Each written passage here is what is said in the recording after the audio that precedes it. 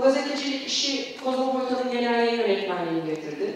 Kozmopolitan'ı hala elimde taşıdığım, bilmiyor onu bırakalım ama buna rağmen iyi kartlısı, dünyanın neresine gidersen gideyim, bilinen bir marka, tıpkı Coca-Cola gibi. Ve ben Kozmo'nun yayın yönetmeniyim deyince aa falan diyorlar, başka bir bakış oluyor.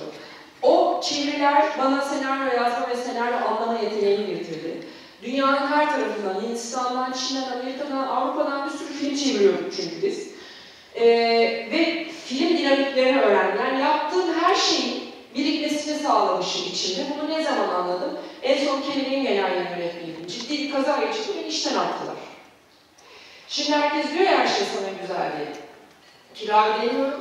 Bırakın kira yemek yiyemiyorum. Yani e, ve çok havalıyım. Yani tüm gazetelerde ben varım, havalıyım, tanınıyorum sokağa çıkınca falan. Ama tabii Aslan Burcu kira ödeyemiyorum. Bu kadar net.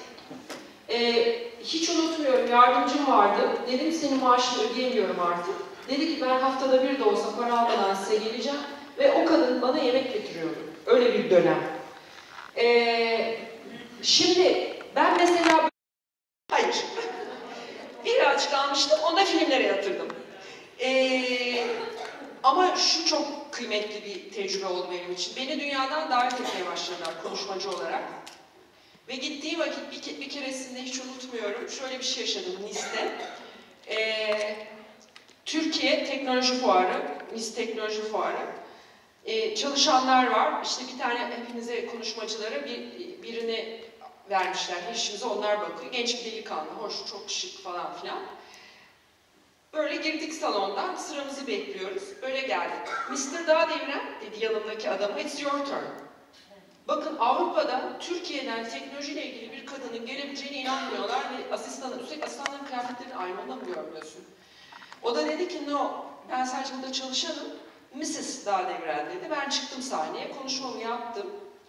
Ve sonra şunu fark ettim. Ee, üç gün boyunca süren konuşmalarda üç kadın var. Türkiye'den Müslüman bir tek ben varım.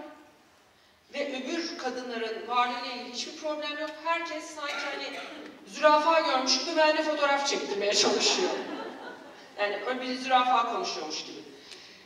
Ben e, toparlama cümlem şu. E, tekrar başa dönüyorum. Hepimizin hayatı çok zorluklarla dolu.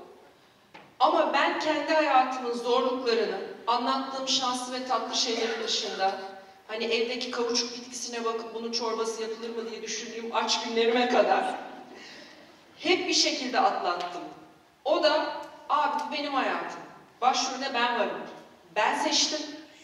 Dolayısıyla bütün cefasını da sefasını da ben çekiyorum. Buna da hiç kimse karışamaz.